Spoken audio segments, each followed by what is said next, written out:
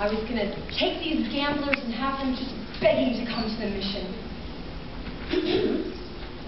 General Cartwright. Good morning, Sarah. All right. Good morning, General. We didn't know you were coming to town. Yes, I got here early this morning and I spent the last hour trying to find you. Oh, I'm sorry.